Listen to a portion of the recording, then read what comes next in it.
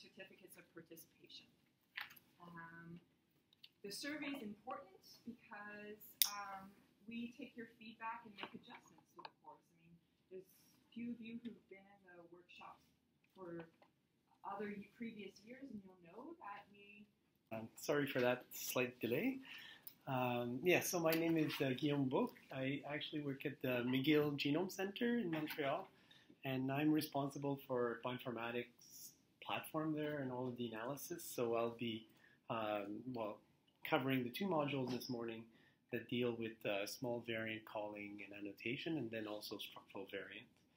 Um, you, will see that there's quite a bit of link with what you did yesterday, so I trust that you all had um, a good time yesterday and learned a lot. And you'll see, so I'm going to make a lot of, of back and forward references to things that you've seen yesterday, and you'll see the actual impact that some of the steps that you've done um, on, on variant calling as part of my module. So um, let's get started. So, so the objectives of, of this first module this morning is, is to really get uh, an overview of, of the variant calling analysis workflow, right? So uh, that's, that's really the key uh, message for, for this particular uh, module.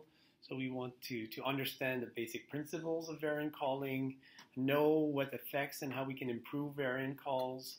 Uh, once you actually have the variant calls, learn how you can filter and annotate those variants. Um, and and and and then in the practical, we'll actually go through all of that. So, um, you know, in, in, so we'll sort of split the time between really going over the general principles, and then uh, in the lab, you'll actually uh, we'll go through the steps and and, and do it. Um, so, and then you know, one of the links to to what you've seen yesterday is that we're going to be using IGV in parallel to really look at, at the results. Um, okay, so so this is a, a simplified view of, of uh, variant calling and, and how the, the, various steps that are associated with variant calling. Uh, so at the top, um, you have,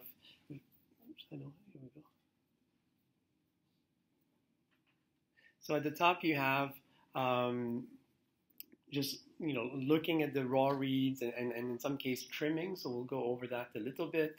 Um, you've done as part of module two really uh, many of these steps that are the alignment. So, so first step, so you look at the data, you clean the data in some case, you align all the reads onto the genome. So this is the, the main alignment step. Uh, and then and then you can do the, the actual variant calling. Um, in parallel to that, you, there's you know there's going to be all sorts of statistics that, that can be generated. Um, so so another way of looking at this so again, it's really a, a sort of a workflow of analysis. Um, you're looking at the, at the reads. Um, mapping uh, the reads is, is, really what you did as part of module two. Uh, and then and then you get to the variant calling itself. So this is what we're going to be doing this morning. Uh, and then also the structural, the larger variants, which we'll cover in module six. Uh, so so before before I jump in uh, module five, uh, I want to cover just a little bit uh, some aspects, some additional aspects of quality control and pre-processing, because in some cases, this, and not in some cases, in all cases, uh, this will have an impact on the variant calling itself. So, so it's pretty important that, uh, to, and so again, some of these things were discussed already yesterday, but given the, how important it is, I wanted to uh, go over some of these messages again. Um, so so it's really quite critical, uh, you know, so when you're doing bioinformatic analysis, just like if you're working in the lab, that you actually, you know, look and follow each step and, and, and, and, and do some control and quality control at every step of your analysis. Uh, and that's that's first step of uh, looking at the raw data uh, before you run through a whole pipeline and run through a whole series of, of uh, of, of uh, command lines or commands is really, really important. Um, so, so you want to be able, and, and so again, you, have covered that a little bit, um, but, but I want to reemphasize that that's quite critical that, you know, to know where the samples that you're going to be analyzing are coming from, um, you know, where they use, where they, so especially if you're going to be doing a comparison of different samples, you know, where they all send, uh, sequence at the same time using, you know, similar protocols, similar, the same instruments. Uh, are there any technical issues that are affecting some of the sample? Um, so, I mean, you you, sh- you should have uh, a, a, very good idea of you know an answer to all of these questions basically before you jump in and you start doing uh, the uh, the variant analysis. So, um, and yeah, and, and in most cases you're going to be comparing multiple samples and not just one. So I mean, this is quite quite relevant. So. Um, so you've seen, or this tool was mentioned already uh, yesterday, but uh, so, so a pretty critical tool um, that's used quite a bit, I think. Uh, there's alternative tool, but this one already, uh, you know, packages many uh, many components uh, that allow quality control. it's FastQC. Um, so so this in the practical, again, before we actually go through the variant calling step will actually run the samples themselves uh, through this tool, and, and and you can look at them, uh, you know, look at the specific results. So the samples that we're going to be analyzing in the lab uh, actually look quite good. So this is this is one example of the read. Um, so you see the, the typical profile where um, this is the quality scores of the reads per base, and you see that the quality, although goes goes down, overall the profile is, is, is quite good. So, I mean, it's too small to actually see the values, but you see that the, the quality of the read is quite good. So you have all sorts of different metrics that you can look at. Uh, this, this is a particular view that shows where on the slide uh, the, the, the, read, the quality of the reads depending on their position on the slide. And you see again, uh, you know, all of the, all, all green and, and, and yellow, which is, which is a good sign. Um, the second read uh, on, on, on, again, one of these data sets that we're, that we're going to be studying in the practical, uh, you know, is also pretty good.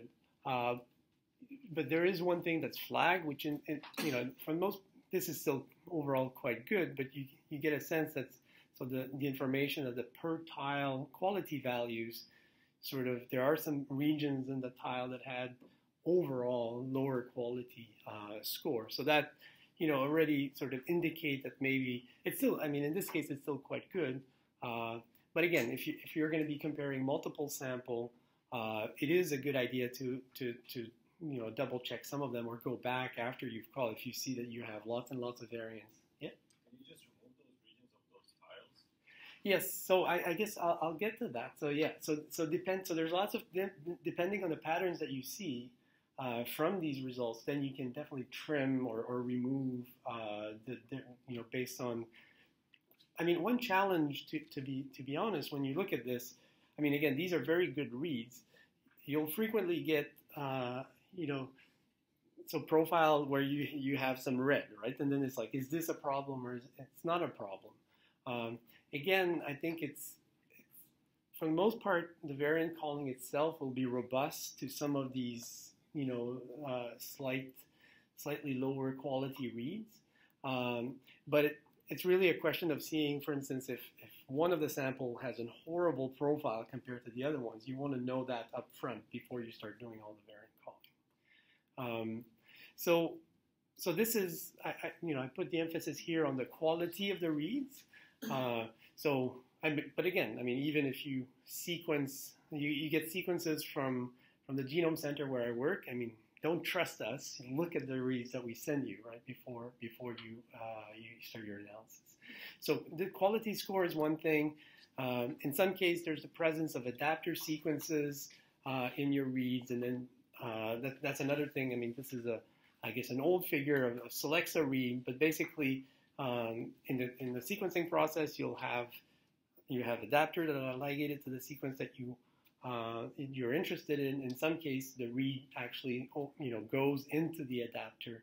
So looking for adapter sequences in your reads is another thing um, to, to watch out for. Uh, that would be flagged by a tool like FastQC.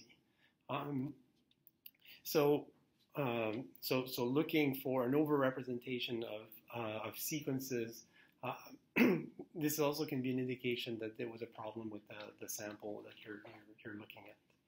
Um, so, so what happens to, to, to answer your question, and, and, please don't hesitate if you have other questions, but to answer your question, if you do identify issues with some of your reads, there's lots of, of, of tools. Trimmomatic is, is one of them. There are many others that actually allow you to um, to, to remove some reads or, or trim some of the reads. Um, it, you know, one thing that used to be quite common was to, to trim from the end of the read that typically are lower quality. So you would actually uh, uh, start trimming your reads from, from the 3' prime end uh, based on different qualities metrics.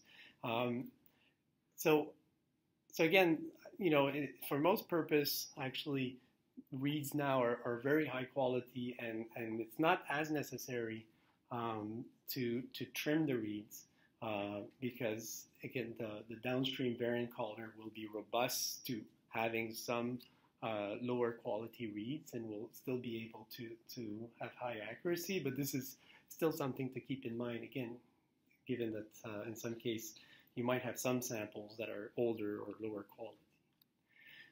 Okay, so this was really, uh, again, just just a, sort of an introduction and warm up uh, before we jump into the actual variant calling.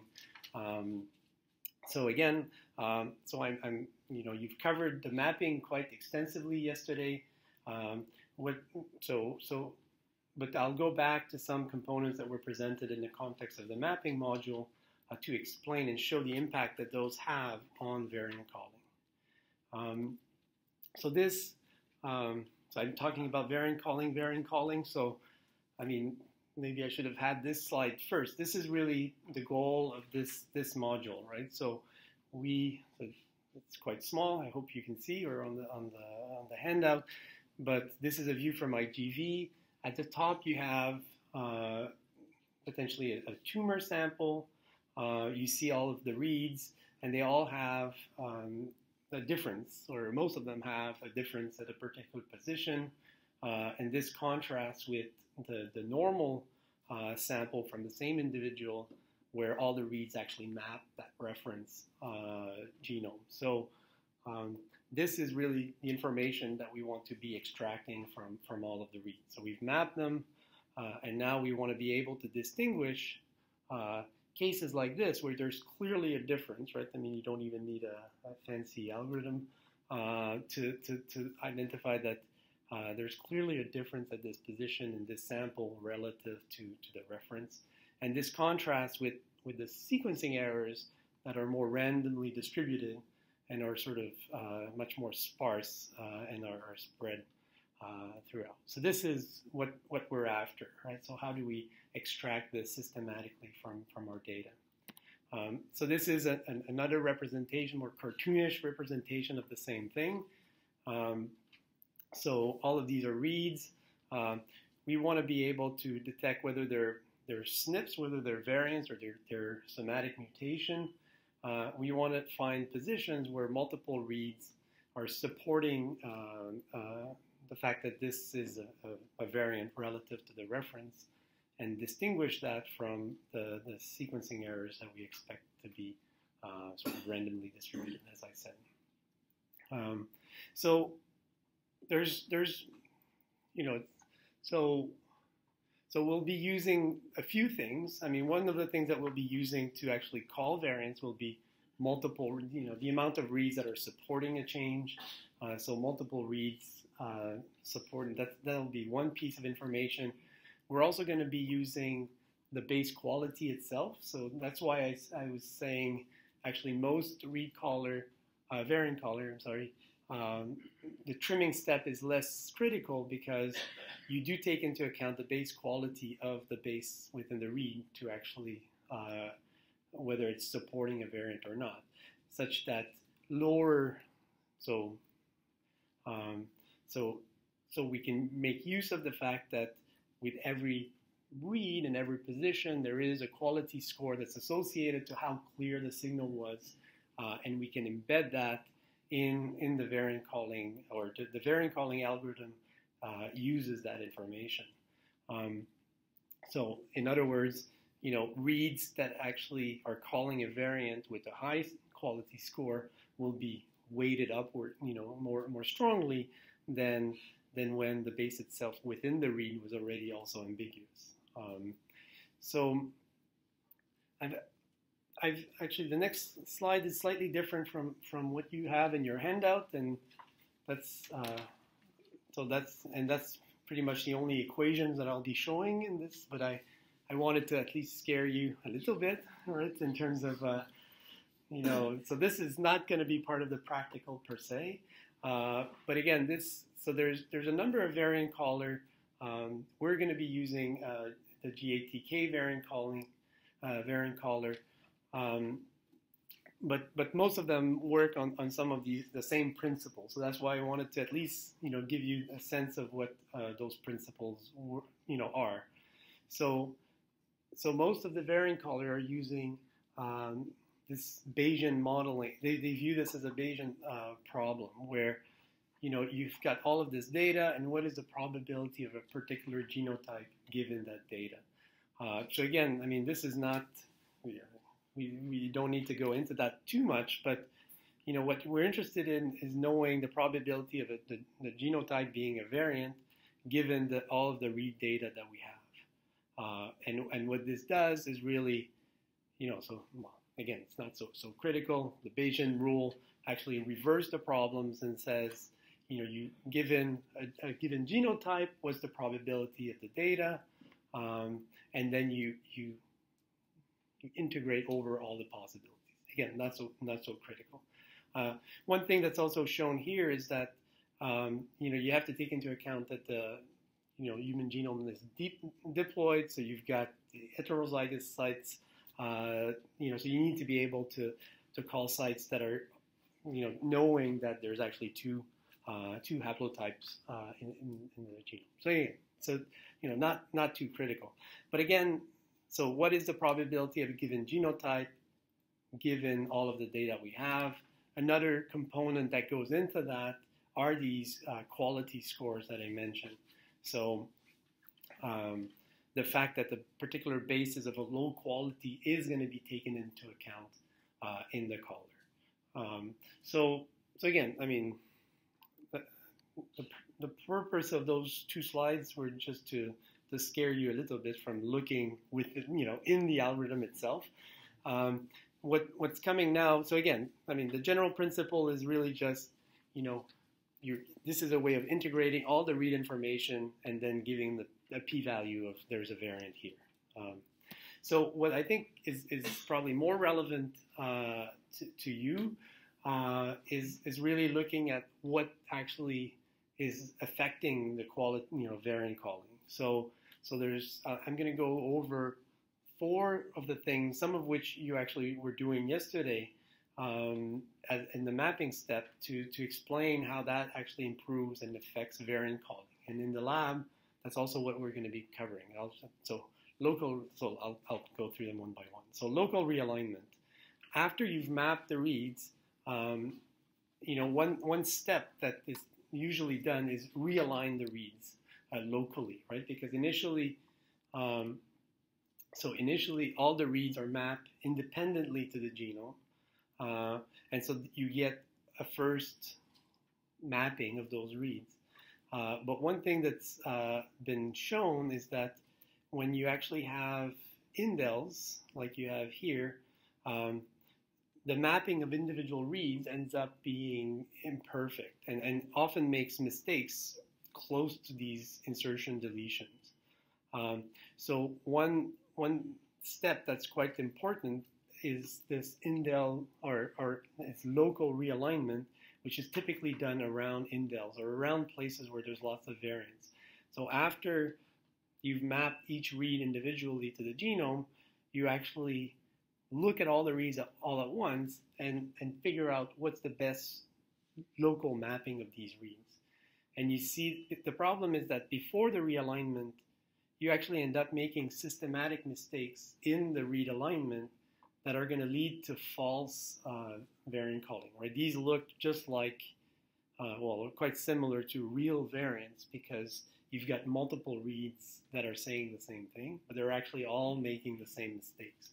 Um, so local realignment is, is one step that affects um, that affects variant calling uh, quite a bit. And, and so in the practical, we'll, we'll actually, I'll, I'll show you the effect of, of uh, that realignment step. Um, so that's one, one thing that's important for variant calling.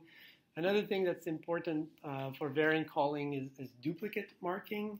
Um, so uh, another thing that can make, uh, so if you don't, you know, do this step, uh, you, you, might get multiple reads that are actually um, really the same reads that been that's been PCR amplified, for instance, and that you're you've got multiple reads that are identical, but because you're going to be feeding in how many times did I see this variant into the the algorithm, um, you're going to think again that this is a this is a variant, even though it's just the same read that you've read multiple times. Uh, so it's important uh, in the context of variant calling, in particular, uh, if you have um, amplified DNA that's been sequenced, uh, to remove reads that are identical with their start and end, as you see here, because you actually only have one observation here, and so you don't want to be, um, you know, pretending or, or, or, or, or sending multiple copies of that, that observation to the variant caller because you're likely to get, again, a false call. Um,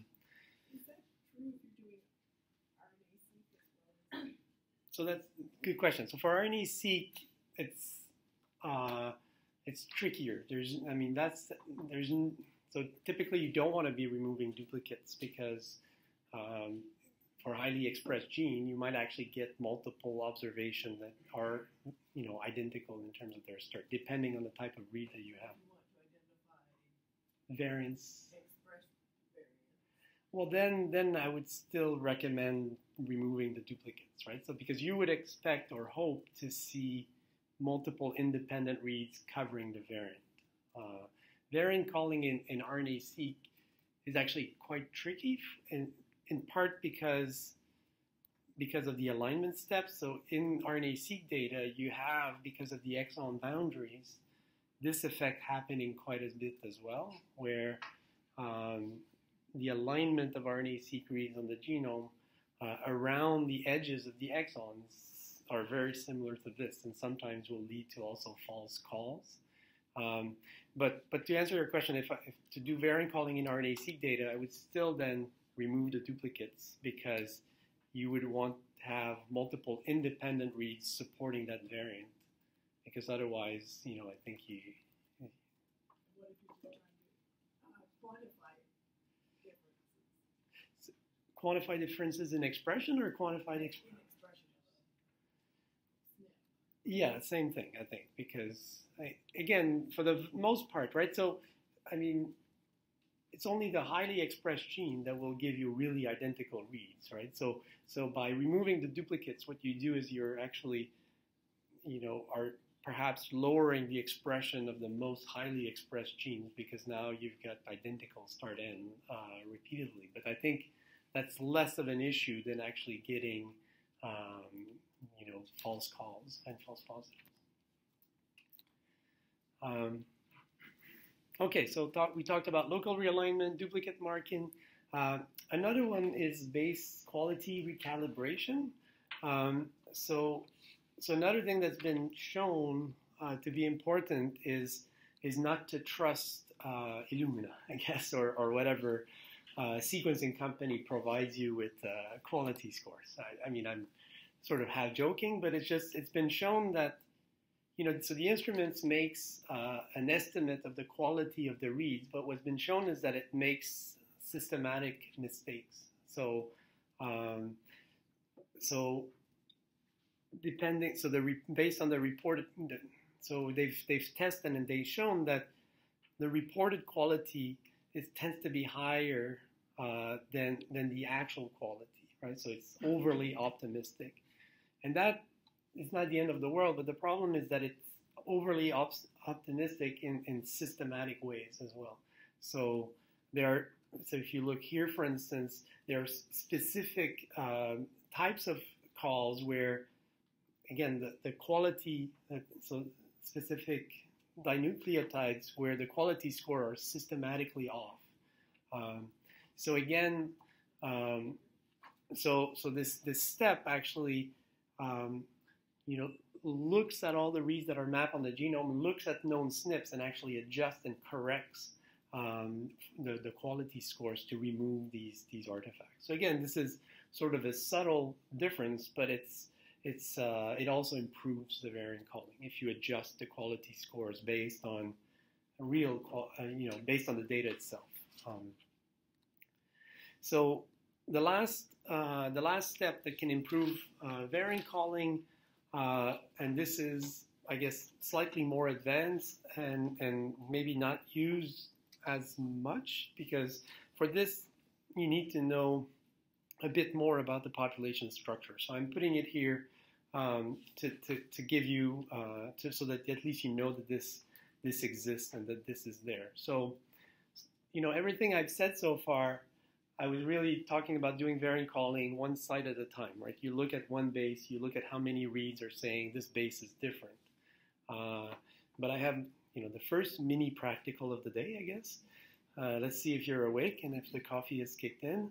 Um, so, I mean, it, as you, as most of you probably know, uh, you know, the, the genome. Uh, so we we all share, uh, you know, blocks of DNA, right? So we inherit blocks of DNA such that uh, everything is in, inherited as haplotype. So you've got real whole blocks of DNA that are uh, that are passed on uh, from generation to generation. So in a popul- in a given population, you'll only have a number of haplotypes uh, that are available in that population. So if you have that knowledge that there's only um, these two haplotypes in that particular population, you can use the information about flanking positions to improve your calling at a given position. So if you see that all of your reads at other position, for instance, are this A and G. So can you figure out what is N? That's right. So so you can so it's so this is making use of so you have to make a hypothesis, I guess, in terms of the population structure and things like that. But you can feed that information to actually improve the quality uh, of your calls. And I say that this is a bit more advanced because this is, I mean, again, so so then you have to make more hypotheses about about your data. This has a big impact, especially if you have low coverage. So if all you have is 30, you know, 3x or, or, or something like that of your genome, it becomes very difficult uh, to, to call positions because you don't have a lot of reads that tell you it's an A or it's a G. So then any trick you can come up with that uses as much information as possible makes a difference. So this, again, if you have low coverage uh, in particular, uh, then using this type of population structure information can help you in variant calling. And again, this is something that in the context of the, the, G, the, the GATK uh, framework was shown to have, you know, to, to have a big, in, you know, impact on the, the accuracy. But this, again, is especially when you have um, low, uh, low coverage in your sample. Otherwise, it's not, not nearly as critical. Um, so I've been talking quite a bit about uh, GATK because this is really in the lab the, the framework that we'll follow.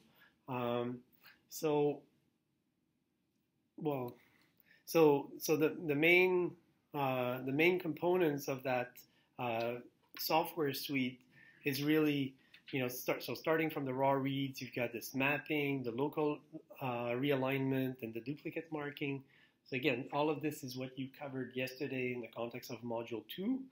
Um, I think the, the base quality recalibration that I mentioned, uh, we, didn't, we didn't do on these sample. Uh, but after that, um, you've got your, your align reads, and then you, you move on to the variant calling itself, which is uh, what we're going to be in the, doing in the practical um, here. Um, again, if you have population information, this is something that you could also add, but we, we won't do this because this is not uh, so much, again, needed if you have high coverage samples. Um, so, so we're going to be working with sort of um, a toy example, so just so that we can actually run things uh, in in the in the lab uh, itself. Um, but I wanted to give you a, some a sense of of what doing it on the on the real whole genome data set would be like. I mean, in the practical, we're only going to be doing this in a very small region of, of chromosome 1. Um, it, in, in the real setting, I guess, if you had a whole genome data set, uh, after the alignment, you would have the BAM files. Uh, this typically for a whole genome that's 30x is, is roughly in the order of 200 gigs. Uh, so this is, you know, again, you've re- recalibrated this, the, you've removed the, the, um, the duplicates, and you've done the, the realignment step. Um, so once you have the, the map reads, doing the variant calling itself, um, you know, would probably take many hours, uh, even on a cluster or, or, you know, with significant resources. Uh, well, you'll see how long it's going to take with just like a tiny region of the genome. You'll see that, I mean, it's, it's going to be quick, but if you were doing it on the whole genome, it would for sure take, uh, take some, some amount of resources. But basically, um, after this step, and so GATK is, is, is really the, the, the, the, algorithm or the tool that we're going to be using for this, but but there's other uh, there's other tools that also do you know similar things as, as what I've you know integrate the information from all the reads in a slightly different way to, to call the variants. Uh, SAMtools is another very common one. FreeBayes is another.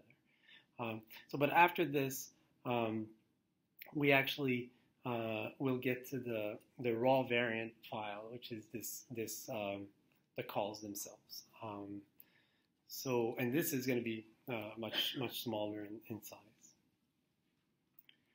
Um, so, any questions so far?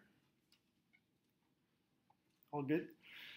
Um, okay, so so again, well, just just to, to reemphasize this. So, in the practical, uh, I'll show you how different uh, the variant calls are going to be depending on whether you're doing this correctly or not. So why do the realignment? Why do the duplicate marking at some level? Uh, you'll see how it's going to change a little bit the calls. Um, so, but uh, so just well, finishing this um, this introduction before the lab, I guess. Um, so we'll talk now about what do we do once we get this list of variants. So variant filtering and annotation. Um, so the file so the BAM format is the file, the read with the location, right, the, the mapping information. The variants that we're going to get are uh, in the format called the VCF format. Uh, so, so we'll get to see uh, these files. The VCF format, um, so there's you know lots of headers. The key thing is that all of the variants that are called uh, are going to be called. You know, you'll have information about the specific position, um, you know, and then information about what is the reference uh, allele uh, at that position, and then what was the variant that was observed. Uh, and, and, importantly, you also get uh, a quality score for the variant. So uh, the output of, um, of, you know, the variant caller uh, is not just a variant, of course, but also a quality score. So this is different than the quality scores of the, the, the, individual bases within the read. This is information about how confident uh, the caller observed the variant there, right? So you'll so it's um, one one slightly tricky thing is that um, the quality score varies depend. So the the interpretation of these quality scores depends on the aligner that you use. Uh, sorry, the variant caller that you use. So the, the, the, scale of scores, of course, you know, the higher the better. That doesn't change, but uh, the actual interpretation of these quality score, um, you actually have to look into the variant caller uh, in terms of what what um, what it represents. Uh, but so because one tricky thing is, you know, how do you filter or how you know what's a good quality score for the variance? Uh, that's partially defined by the variant caller that you uh, that you've used. Um, and then you have additional information on each of these. But again, so this is going to be a file where every line after the header will be uh, a particular variant with the information uh, on the variant itself. And you know, yeah, so it, can get quite complicated in terms of the different, you know, um, the different info fields and things like that. And all the details are in the VCF um, file format that's linked here. Uh, so another um, so how so so typically, especially if you do this whole genome or whole exome, you're going to get a very long list of variants, and and the first thing that you're going to wonder is how do you filter, how do you select which ones are the good uh, variants. Um, so there's really two sort of main strategy for this. So you can you can definitely filter uh, your list of variant um, based on different sort of manual cutoffs, right? You may you may be obviously the quality score is an obvious one, right? So maybe you'll say I only trust um, variants that are above a particular quality score. Uh, you you know, or or you require a certain depth of coverage. You only trust the variant. So the output is is really uh, so anything that's variable will be reported, and then uh, it's a question of sort of filtering the, the, the, the, calls themselves based on quality score and depth of coverage, for instance.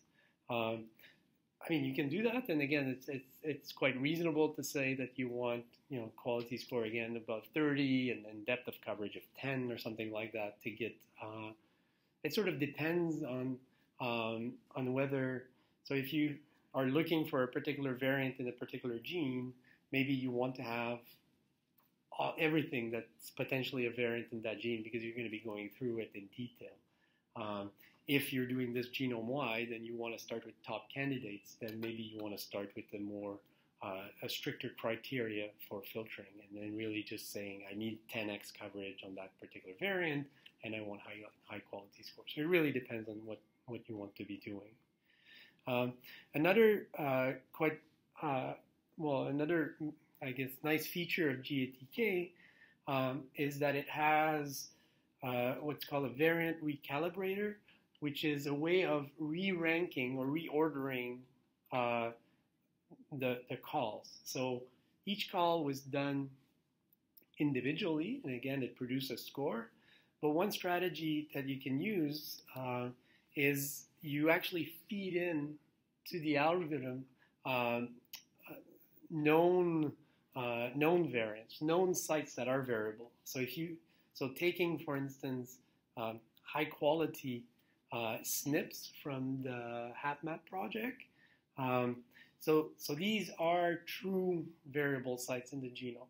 So if you feed that in um, to the to the algorithm, and you can also feed in, in this case, so this, these again are, are, the recommendation of the variant recalibrator tool of, of GATK.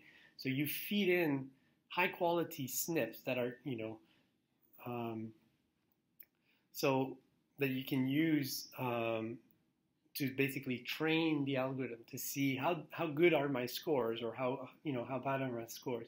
So you feed in um, these variants to know what you're missing, which should be there, and you feed in and dbSNP actually contains both very high quality SNPs, but also contains a lot of false positive SNPs. Um, so again, in, in, the, in, the, context of GATK, using this information to sort of tune its scoring uh, has been shown to actually improve the, the quality scores. So um, again, uh, this this variant recalibrator, all you have to do is to to be able to use that component of the of the package is to feed in um, case of, of variants that you expect to have in your sample and variants that potentially contain some false positives. Uh, and it's going to use that to re-rank your variants uh, from high quality to, to lower quality. Um, but again, I mean, this this is uh, uh perhaps a bit uh, a bit tricky. But to go back to, to this, uh, you can use, and, and for the most part, this is fine. some manual filtering based on, on some criterias that, that are reasonable to you. But another option is to, to use a more sort of advanced ranking where you feed in some uh, some data sets and, and GATK can learn uh, what are the good cutoffs automatically. Um, So, sorry. Yeah. The DB as a proxy for false positives, yes. not, not that they're real SNPs, but that it has enough data in it that it has poor calls.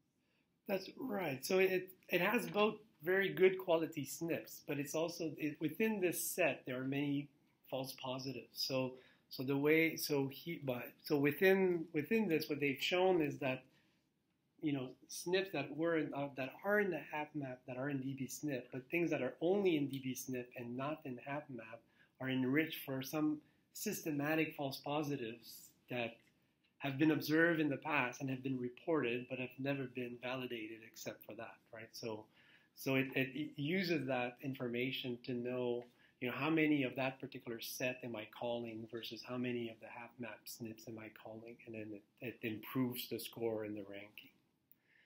Um, okay, but um, but another another thing. Um, so so this is actually. Uh, a- an example from, from a project that, that I was part of where we sequenced uh, 100 whole genome um, kidney tumors.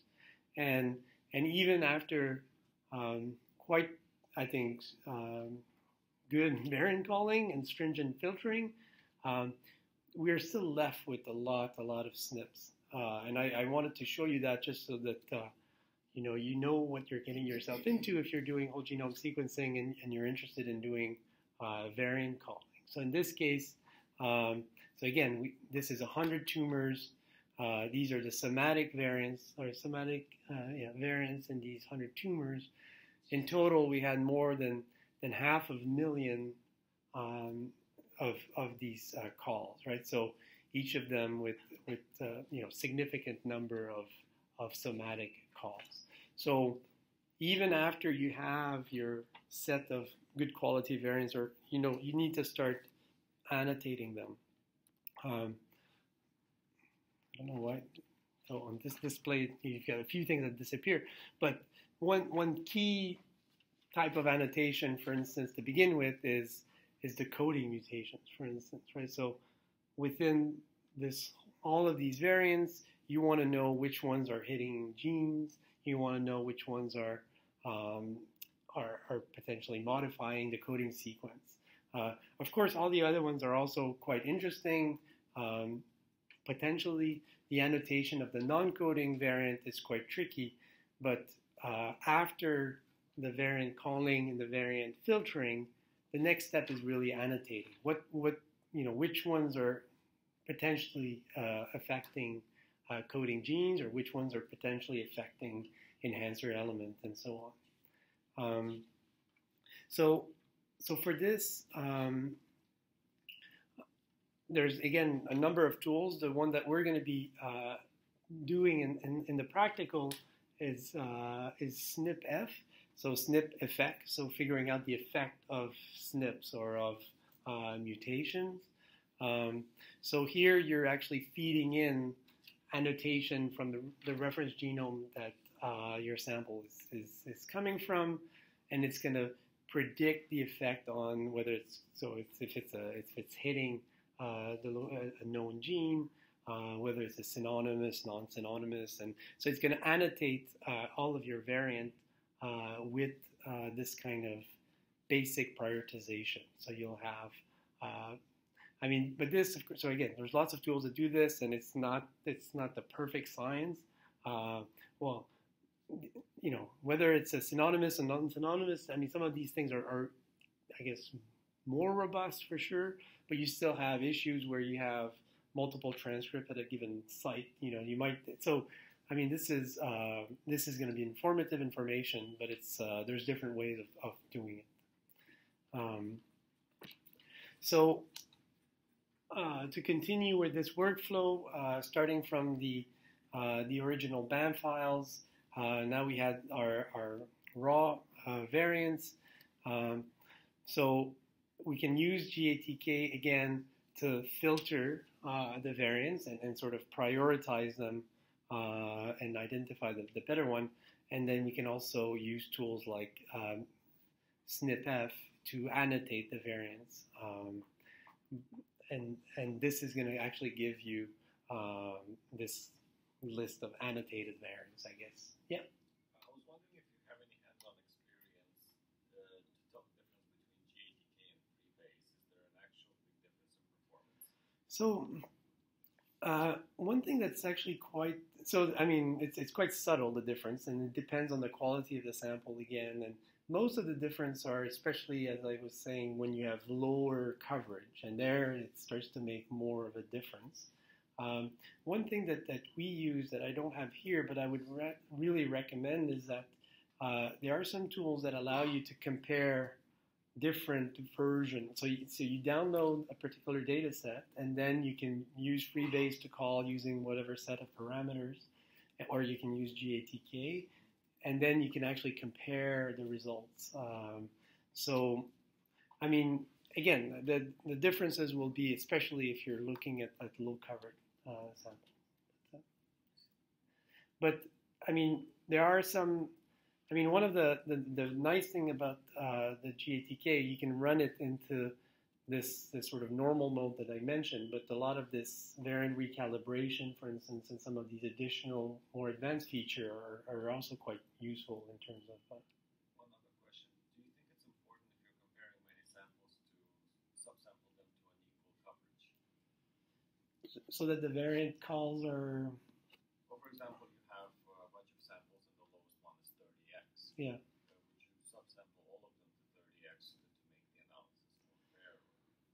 Well, yeah, so the question is um, what would you do if, if you had samples with different coverage, right? Um, I mean, I think, so it depends a little bit on what you do downstream and how you interpret the variant list that you get, right? So if you have a sample that has higher coverage, you do expect to be able to detect more variants.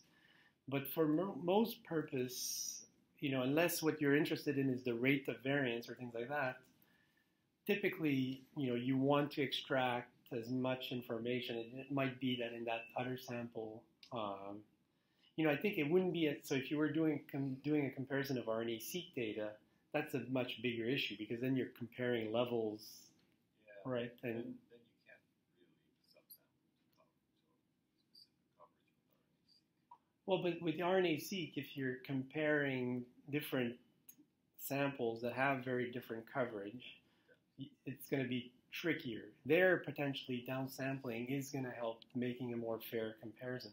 With the variant calls, if you don't downsample, all you'll have is basically more detection in the sample that have more coverage. And I, you know, I'm not sure that would be a big issue. Because I, I know it's a bit beyond the purpose of uh, this course, but for example, some population parameters that estimate diversity within the sample. Well, if, if that's the analysis that you're doing, then yes, you're right. So I think that that's that's definitely correct. If you're doing a cancer discovery project, um, and and the main thing is not you know looking at the total number of variants, but really as a discovery of what kinds of mutations are in your sample, then it would be slightly different and probably wouldn't make sense. I don't think to downsample. Sure. So other questions? So the next step is going to be the lab. So any other questions on the overall workflow and pipeline?